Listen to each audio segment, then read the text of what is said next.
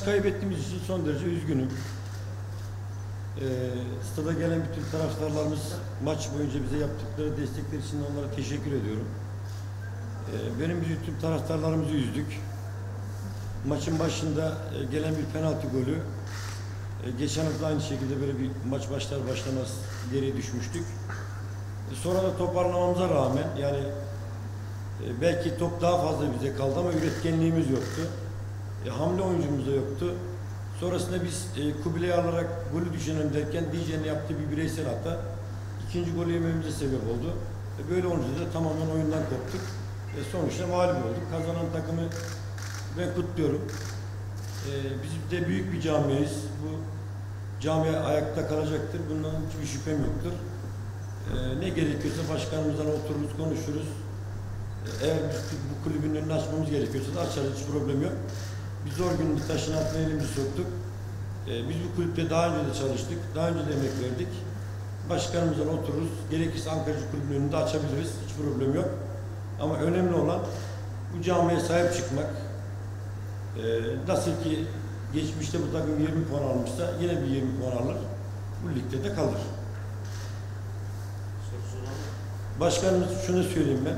Yani büyük uğraşlar sonucunda transfer tahtasını açmıştır. Ee, büyük bir ihtimalle açıldı. Yani Ankara'ya gelen oyuncular var. Daha da gelecek oyuncular var. Ee, çünkü içeri oyuncu katmamız lazım. Ee, sezon başı alınan oyuncuların yük bindikten sonra sakatlıkları meydana gelince ister istemez biz bugün üç tane yabancıyla sahaya çıkıyoruz. Diğer yabancılar yok aramızda. Elimizdeki Türk oyunculara da bakarak elimizdeki en iyi 11'i sahaya sürerek biz maça başladık. Belki iyi oynadık ama üretkenliğimiz olmadan dolayı da kaybettik. Bundan da son derece tabii ki üzgünüz. Böyle olmasını istemezdik. Hocam ne gerekiyorsa söylediğinizin arkasında ne var? Ya şimdi şöyle yani eee daha önce bizden önce Bayram Hoca vardı. Ondan önce de İsmail Hoca vardı. Biz buraya geldiğimizde biz farklı bir görevle geldik. Bayram Hoca gittikten sonra farklı bir göreve başlamış olduk. Biz bir kulüp için her türlü görevi yaptık geçmişte. Yine de yapıyoruz. Ee, burada ben hiç kimseyi de suçlamıyorum. Olur ya eğer Ankara'cının önünü, önünü açmamız gerekiyorsa da açarız. Sonuçta bu büyük bir camia. Ee, taraftarlarımız İsmail Hoca diye bağırdı. Bunda haklılıklar da olabilir. Ama bu takımı da kuran İsmail Hoca'ydı. Şu andaki mevcut, elimizdeki mevcut kadroda yapılan transferler de dahil İsmail Hoca'nın yaptığı oyunculardı. Ben İsmail Hoca'yı verdiği emeklerden dolayı kutluyorum. Teşekkür ediyorum. Çünkü şampiyon yapmış takımı. e, 20 puan almış. Ben kesinlikle onu suçlamıyorum. Ee, olabilir yani futbol bu. Başkanımızla otururuz, konuşuruz. Ayrılmamız gerekiyorsa ayrılırız. Çalışmamız gerekiyorsa da çalışırız. Ben onu söylemek istiyorum. Hocam,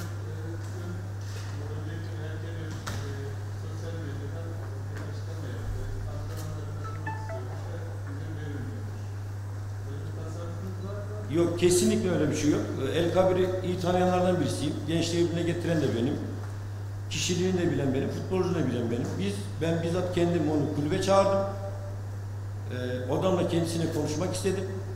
Ben antrenmanlara çıkacağım dedi. Evet antrenmanlara çıkacaksın dedim. Bizim sana ihtiyacımız var dedim. Ama senin takımdan özür dilemen lazım dedim. Geçen haftaki yaptığın olaylardan dolayı. O da ben özür dilemem dedi. Ben gelir antrenmanlara çıkarım. Oynamak da istemiyorum. Bana e, izin kağıdı verin. Ben kendime kulüp aramak istiyorum. O da başkan ve yönetimin bileceği bir iş dedi. Teknik kadro olarak biz ona karar veremeyiz. Ama biz seni ikman almak istiyoruz. Alanya maçını hazırlamak istiyoruz. Alanya maçında sana ihtiyacımız var ve seni sahaya sürmek istiyoruz. O da o zaman ben itmanlara çıkmıyorum. Bana izin kağıdı verin. Ben gideceğim dedim. Ben de o zaman e, yönetim tarafına gönderdim. Burada oynamak istemediğini, burada kalmak istemediğini belirtmiş. Kendisine kulüp bulunması için kendisine üç gün izin verilmiştir. Yani yoksa biz El Kabir'i futbolculuğunu da bildiğim için oynatmak istiyoruz. Ama El Kabir'in kendisine barışık olmadığını görüyoruz. Yani itmana çıkmak istemiyor, çıkmak istiyor. Sonra biz oynatmak istiyoruz, tam tersini yapıyor yani. Galatasaray maçı da dahil, bu maçta dahil yani. Çünkü biz Galatasaray maçında onunla başlıyorduk. Ama soyunma odasındaki yaptıklarından dolayı oynamak istemedi. Biz çıkarttık kadrodan. E, bu hafta da aynı şekilde biz itmanları almak istedik. Geldi. Ben özür dilemem kimseden dedi. Ona rağmen biz itman almak istedik çünkü ihtiyacımız olduğu için bu sefer o da kabul etmedi. Yani şunu söyleyeyim, elimizdeki oyuncu kadrosu bu. Yani biz bu kadroyla belki bireysel hatalar yapmasaydık en kötü bu maç berabere biterdi. Ama yaptığımız bireysel hatalardan penaltı golü, arkadan DJ'nin topu kaptırması bizim mağlup olmamıza nedendir. Evet. Ya ben orada e, Pazdan'ı bildiğim bir oyuncu. Alınsın dedim. Anteyne zaten çalıştığım bir oyuncu. Alınsın dedim. Biz e, üç tane santraforla görüştük. E, tabii başka yani uzak yerlerden gelecekler için biraz zor oluyor. Danimarka'dan bir oyuncu var. İstedik görüşüyoruz. Belçika'da var. Almanya'da var. Yani biz 9 8-9 oyuncuyla bitme aşamasına geldik. Ben eminim ki onlar bu yani şu anda 5 tanesini Ankara'ya getirdik. 2 tanesi de yolda. Ee, Daha da katmak istiyoruz yani yerli de katmak istiyoruz. Ama biliyorsunuz Türkiye'de sayı 28. 10 tane yerli olması lazım. 14 yabancı olması lazım. Onun da dengesini elimizdeki oyunculara göre, kadroya göre kurmamız lazım.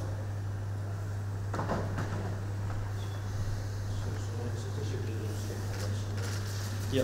Böyle gerçekten e, zor bir mücadele oldu bizim için.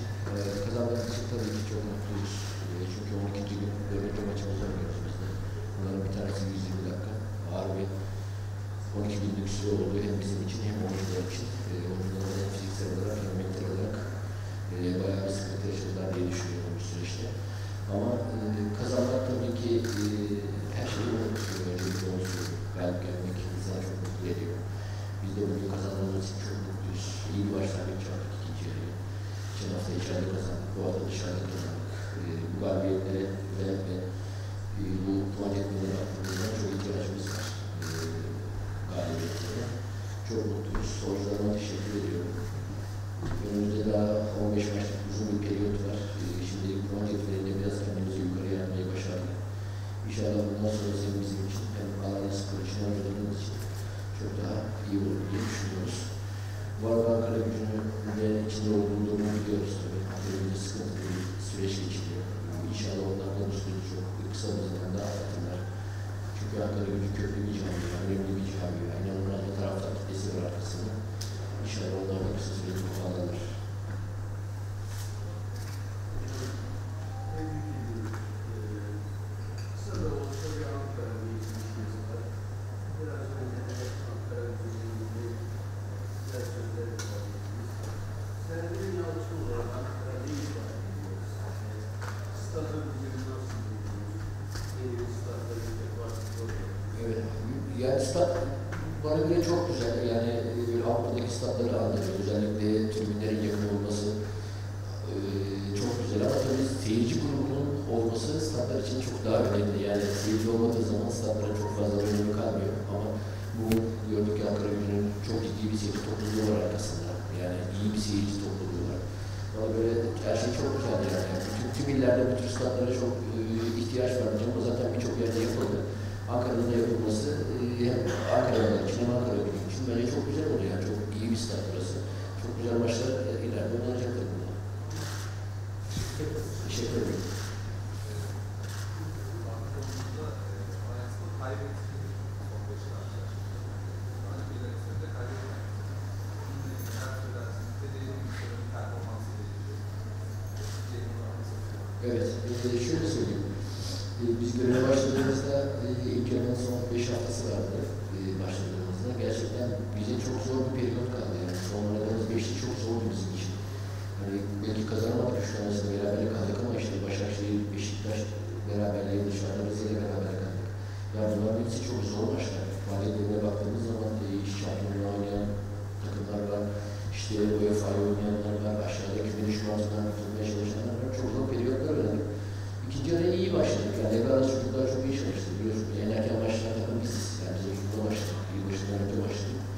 İyi bir devre arası geçirdiğini düşünüyorum. İşte 12 günlük periyot zor bir periyot. Yani oyuncular çok yoruldular. Yani yorgunluğu biz oyun, oyunda görüyoruz ama çok gayretliler oyuncular yani. Bu yüzden e, oyuncuların da hakkını vermek lazım. Gerçekten çok gayret ediyorlar. Sürekli yolculuk yapıyoruz, oynuyoruz. Kolay değil tabii. Ceyhun için Ceyhun geçen hafta da çok iyi oynadı. Yani Ceyhun'u kullanmak istediğimiz şekilde oynatmaya çalışıyoruz. Yani biz e, geçiş oynamaya çalışıyoruz genelde. Yani pas süresini yüksek tutmaya çalışıyoruz. Ceyhun'da bizim merkezdeki geçiş oyunumuzun e, ana şartlarından bir tanesi. Ceyhun'a savunma anlamında bir geçiş oyununa çok ihtiyacımız var. İki haftadır bunu çok iyi yapıyor. Yani Ceyhun'un performansından çok memnunuz. Umarım bundan sonraki süreçte bu performansını artırır. Teşekkür ederim. Teşekkür ederim.